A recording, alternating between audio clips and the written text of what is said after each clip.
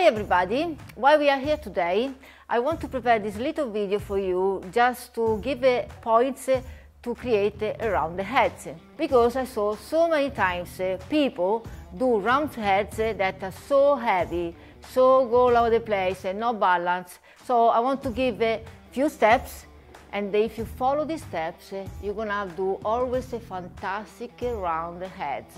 Okay? Ready?